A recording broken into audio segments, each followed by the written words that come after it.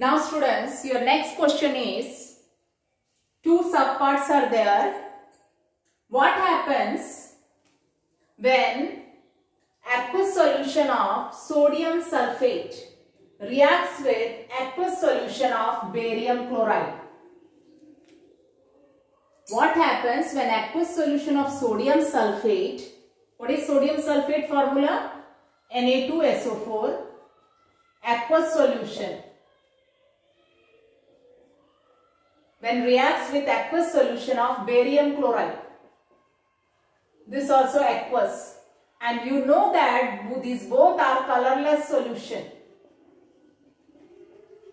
Sodium sulfate and barium chloride solution both are colorless solution. When they react, immediately you get white precipitate. Here it is asked what happens. So what happens? Immediately white precipitate is obtained. So what is that white precipitate? Here sodium will take the place of barium and barium will take the place of sodium. When barium will take the place of sodium, it will displace sodium and take its place. So barium sulfate is formed. And this is the white precipitate obtained, barium sulfate. And then sodium will take the place of barium. So what is obtained? Sodium chloride, NaCl. Okay. So what happens when aqueous solution of sodium sulfate reacts with aqueous solution of barium chloride? So when aqueous solution of sodium sulfate reacts with aqueous solution of barium chloride, immediately we get white precipitate of barium sulfate. And precipitate students, it is solid. If you keep it undisturbed, it will come and settle down. And clear solution you can see over it. That clear solution will be sodium chloride. So here what is happening, sodium is taking the place of barium and barium is taking the place of sodium. So two times displacement takes place. So what type of reaction is this? Double displacement reaction. And in this double displacement reaction, precipitate is formed. So this double displacement reaction is also called precipitation reaction. Okay. Now you have to balance it.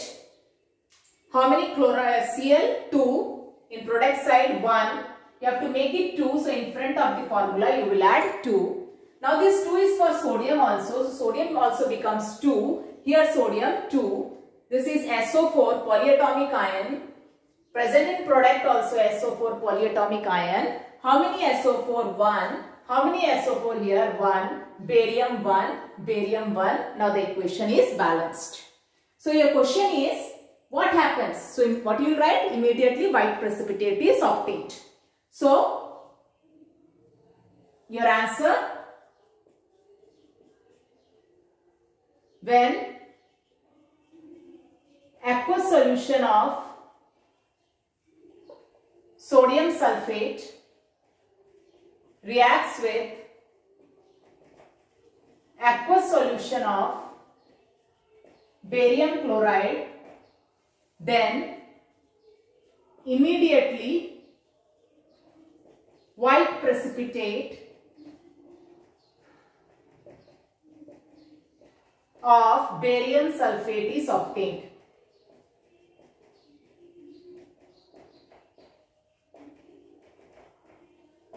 Okay.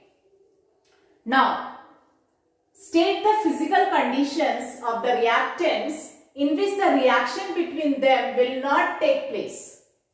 Here reaction takes place and white precipitate is obtained. In which condition if the reactant is there and reaction will not take place. So here the reactant is in the form of solution. It is dissolved in water. So the ions become free and they can exchange their ions. But if the reactants are in solid state, the reaction will not take place. You will not get the white precipitate. So you have to write the physical condition of the reactant in which the reaction will not take place. So when the reactants are in solid state, the reaction will not take place. So next part, when the reactants are in solid state, then reaction will not take place.